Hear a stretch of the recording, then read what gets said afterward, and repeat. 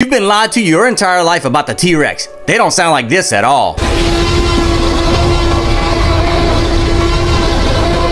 You probably recognize that sound from movies. I'm gonna play you the real sound of a T-Rex, but what the movies got wrong is the roar. They made the T-Rex start to have this loud screaming roaring sound.